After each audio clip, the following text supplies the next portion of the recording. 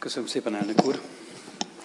Tisztelt Hölgyeim és Uraim, elnök asszonynal ellentétben engedjék meg nekem, hogy éppen a külföldi vendégeink miatt a beszédemet angol nyelven tartsam meg. Remélem, hogy ez nem fog okozni komolyabb problémát. Dear ladies and gentlemen, dear President, Your Excellency, and dear foreign guests, uh, dear colleagues, it is always such a pleasure to be among fellow engineers. Today we are here to talk about the EU energy policy goals, and I'm glad to be here to introduce you to the challenges our region has to face to meet these goals. But this has to be done in a way that makes us more competitive, and this is where your expertise can come handy. I truly hope that this conference will achieve its objectives, and I will be even happier if I am and uh, my ministry can contribute to that objective. Regarding the challenges we are facing, uh, those are significant ones. The European Union has set very ambitious decarbonization goals for 2050. CO2 emissions have to be cut by at least 80% compared to 1990 level. In order to fulfill these targets, considerable advancement in R&D is a prerequisite. Not only CCS and not only nuclear energy and including the fourth generation reactor development, but also in guaranteeing sufficient flexibility that the integration of renewables requires, smart grids, smart meters, and electricity storage. Although renewable generation already contributes to a great extent to achieving decarbonization goals of 2020, I firmly believe that binding renewable goals alone will not be able to guarantee such emission reduction. Taking this into account, the role of member states in determining their energy mix has to be preserved and the role of nuclear energy as a clean, reliable and affordable source of electricity generation has to be also recognized. Let me make this clear. Renewables are indeed important, but they should not replace but complement existing low carbon generation units on the way for a low carbon economy. Another issue comes up when we talk about electricity generation is operational security. To allow secure system operation and also demand matching supply, a massive infrastructural development is a must. And dear colleagues, this is what we are here for. We have important tasks to do, and you, as engineers, will be involved in delivering it. Does anyone want to have a guess at the sum for the infrastructural developments needed in this very decade, at least according to the European Commission's estimate? Well, ladies and gentlemen, this is 1 trillion euro. That means 1,000 billion euros. This is the investment estimated by the European Commission needed by 2020 to make Europe's aging energy system fit to the requirements of the energy policy goals of 2014 and 2020. And uh, about 200 million euros of this investment is needed for energy infrastructures of European importance exclusively.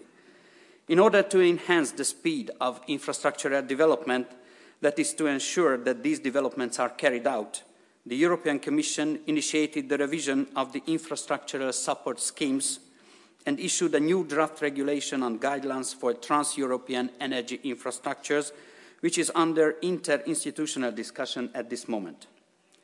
A political decision, if not a formal approval, is expected by the end of this year. The CAF regulation granting a new financial instrument for infrastructural development is also to be approved by the end of 2012. From the Connecting Europe facility, the European Commission foresees 9.1 billion euro for energy infrastructure. Though these legal acts are still under discussion and approval, the political guidelines concerning infrastructural developments has already been set up by the region. The priority corridors under the new infrastructure regulation follow the line set by the North-South Energy Interconnections Initiative. The working groups of the North-South electricity interconnection in Central, Eastern uh, and Southeastern Europe, the North-South gas interconnections in Central, Eastern and Southeastern Europe, and the Southern gas corridor will not only allow alternative natural gas sources to penetrate to our isolated gas markets, but will also foster market integration and solidarity, solidarity between our countries regarding both electricity and gas. According to our estimations, physical infrastructure will be fit for a competing gas market to be developed by 2017. Furthermore, alternative sources from 2013-14, LNG from Poland, and natural gas from the Caspian region will be available. We are also counting heavily on Croatian LNG, which is supposed to be up and running from 2017, the latest, as the Croatian government stated recently. I honestly hope that the deadline will be met, as the market obviously needs Croatian LNG. And you can tell the Croatian colleagues I said so. Based on adequate interconnections and sufficient competing sources by 2017, a competitive regional gas market will emerge. Therefore, objectives for 2017 need to be clearly set. Luckily, integration of European electricity markets is in a more advanced stage. Let me remind you about the goals set by the EU Council of February 4, 2011, during the Hungarian presidency, which are the completion of the internal energy market by 2014 and the elimination of energy islands by 2015. With regard to natural gas markets, the Central Eastern European region might be lagging a couple of years behind in completing the integral market as defined by the target model. However, regarding electricity markets, if huge efforts are made, the goal can be achieved on time. And here, please allow me to remind you of something I'm really proud of, which is the Czech, Slovak, Hungarian market coupling projects, a great step forward to the realization of the target model on day-ahead markets. While an interconnected and competing internal energy market allows a greater deployment of renewables and enhances security of supply, it will also result in a greater convergence of electricity and gas prices, which would be a tremendous achievement for our region, known for having one of the highest energy bills of the world. Dear ladies and gentlemen, dear colleagues, I wish you a fruitful discussion for today. Elnök asszony, még egyszer köszönöm a szíves meghívást, tisztelt vendégeink, nagyon jó munkát kívánok a mai napra önöknek.